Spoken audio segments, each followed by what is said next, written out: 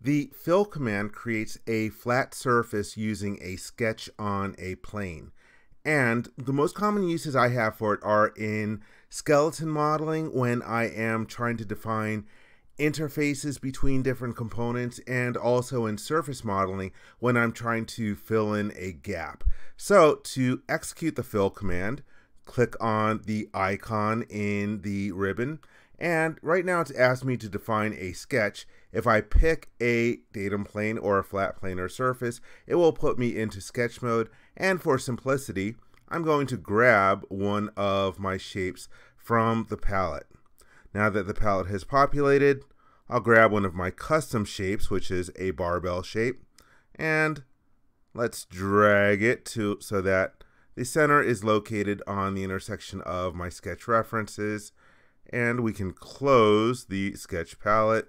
If I want to change this dimension plug in the new value and I hit the check mark to complete placement of the sketch from the palette then I can right click and hold and click the check mark to exit out of sketch mode. You can see a preview of the flat surface that will be created just to show you the dashboard, shows you the sketch that's being used. In this case, I'm using an internal sketch.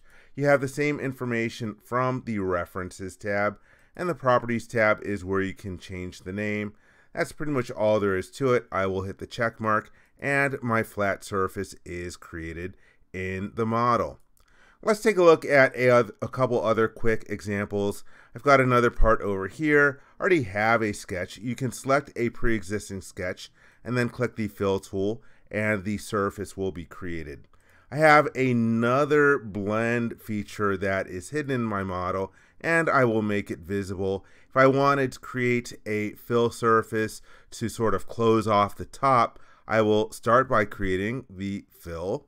And right now I don't have a datum plane located for where I want to sketch. So while I'm in the middle of the tool, I can go to the right side of the dashboard and click on the datum dropdown and create a plane through one of the edges of the blend. Click OK. And then if I resume my dashboard, it puts me into sketch mode. And then for selecting the edges, I can use the project command, select the sides of the blend, click close. You'll notice that when I have a closed loop, it shades that area. So now I will click the check mark and check mark again.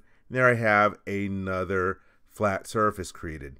Note that this looks like an enclosed volume, but it is not. If I go to the View tab and then create a planar section and pick the datum plane front, you can see that this is hollow on the inside. Let's cancel out of there. And right now I have three individual surfaces. If I wanted to stitch these together, I can select them using the control key. Oops, let me change the filter down here to quilt. I think it'll be a little easier for me. Select the three quilts, and then I can merge them together. And then when the merge is selected, I can choose solidify, hit the check mark, and I've generated solid, solid geometry. Just like before, if I create a planar section and click front, let's go and define some cross hatching on there and also fill in. You can see I actually have solid geometry now. I hope you enjoyed this video. For more information, please visit www.creowindchill.com. If you like this video, please give it a thumbs up and click the subscribe button to be informed when new videos are uploaded. Thank you very much.